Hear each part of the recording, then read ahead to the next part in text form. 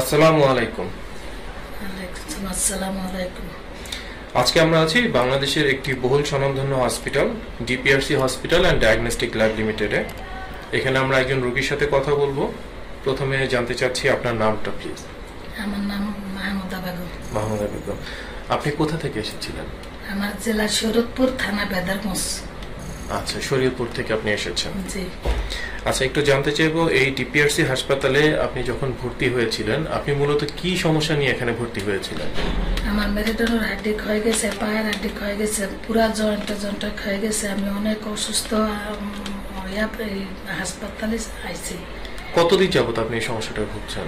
আমার আজকে প্রায় সতেরো থেকে আঠারো বছর যাবত প্রায় গত সতেরো থেকে আঠারো বছর যাবত আপনি কষ্টে ভুগছিলেন। আমি অনেক ডাক্তার দেখাইছি অনেক ডাক্তার কোনো ডাক্তারের বাকি রাখিনি। আচ্ছা যখন আপনারা ডাক্তার দেখিয়েছিলেন হয়তো ডক্টর বিভিন্ন ধরনের মেডিসিন দিয়েছে ওষুধ দিয়েছে। ওষুধ খাইছি ব্যথা কমছে। আচ্ছা কমার পরে পরবর্তীতে যখন ওষুধ ছেড়ে দিয়েছেন সেই ব্যথা আবার ফেরত এসেছে। ফেরত আইছে। আচ্ছা একটু জানতে চাইব আপনি বর্তমানে এই ডিপিআরসি হসপিটালে আপনি কোন ডক্টর সাহেবের আন্ডারে মানে ভর্তি ছিলেন? ডাক্তার সবুলা প্রধান। আপনি কতদিন যাবত এই হসপিটালে আপনি ভর্তি ছিলেন? ষোলো দিন যাবত ছিল গত ষোলো দিন যাবত আপনি ভর্তি ছিলেন। আচ্ছা গত ষোলো দিন যাবত আপনি ট্রিটমেন্ট নেওয়ার পরে এখন বর্তমানে আপনার কি অবস্থা? এখন আল্লাহর রহমত আমি ভালো। আগের থেকে অনেক ভালো আছেন। অনেক সুস্থ বোধ করছেন। তার মানে গত ষোলো বছর ধরে আপনি যে সমস্যাটায় ভুগছিলেন যে অমানসিক কষ্টে আপনি ভুগেছেন দিনের পর দিন সেই কষ্টটা আপনার মাত্র এই অল্প কয়েকদিনই আপনি ভালো হয়ে গেছেন। আচ্ছা একটু জানতে চাইব যে এই ডিপিআরসি হসপিটালের ঠিকানাটা আপনারা মূলত কীভাবে জানতে পেরেছিলেন প্রথম? আমি মোবাইলে ফেসবুকে জানতে পারছি। ফেসবুকের মাধ্যমে প্রথম জানতে পেরেছি জি। আচ্ছা। একটু জানতে চাইব আপনি যখন এই ডিপিআরসি হসপিটালে ভর্তি ছিলেন এখানকার যারা ডাক্তার ছিলেন বা নার্স বা স্টাফ যারা ছিলেন সকলেই কি আপনার মানে আপনাকে যে ধরনের ট্রিটমেন্টটা করার কথা বা যে ধরনের সেবা দেওয়ার কথা টাইম টু টাইম আপনাকে ট্রিটমেন্ট করার কথা সেটা কি তারা করেছে? সিস্টার আয়া নার্স খালারা সবাই ভালো ট্রিটমেন্ট করছে সেবা যত্ন করছে আমাদের কোনো কষ্ট হয় নাই। সব আচ্ছা। সময় সব দেখাশোনা করছে কোনো কষ্ট হয় এখানে- খাবার দাবারও কোনো কষ্ট হয় খাবার নাই। দাবারের কোনো সমস্যা হয়নি এখানকার পরিবেশ সম্পর্কে যদি একটু জানতে চাই এখানে আপনারা তো এর আগেও হয়তো অনেক হসপিটালে গিয়েছেন সেখানকার পরিবেশও দেখেছেন। এই ডিপিআরসি হসপিটালের পরিবেশ সম্পর্কে যদি একটু বলেন কেমন লেগেছে না অনেক ভালো। অন্যান্য আমি অনেক ডাক্তার দেখাইছি। এর তুলনায় এই হসপিটালের পরিবেশ অনেক ভালো। আচ্ছা মা আরেকটা জিনিস একটু জানতে চাইব।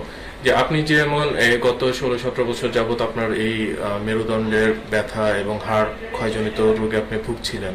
বাংলাদেশে এবং বাংলাদেশের বাইরে এরকম অসংখ্য রোগী আছেন, যারা হয়তো সঠিক ডক্টর খুঁজে পান না, অথচ তারা দিনের পর দিন কষ্ট পাচ্ছেন। হয়তো বুঝতে পারেন না যে কার কাছে গেলে ভালো হবে। যেমন আপনি নিজেই কিন্তু এর আগে অনেক ডক্টর দেখিয়েছেন, অনেক গিয়েছেন, কিন্তু আপনি প্রপারলি ভালো হননি।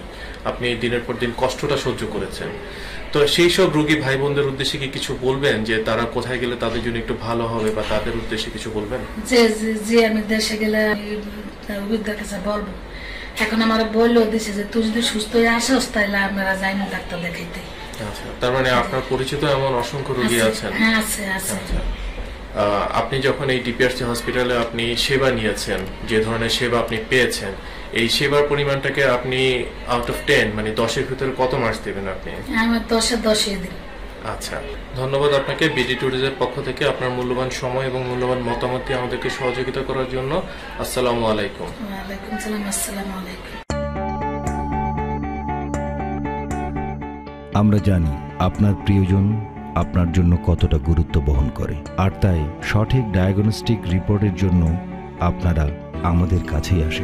নির্ভুল রিপোর্ট অতি দ্রুত সময়ে আমরাই দিয়ে থাকি। আমরা চাই না আপনারা বারবার আমাদের কাছে ফিরে আসুন, তবুও আমরা আছি সব সময় সর্বদা আপনাদের পাশে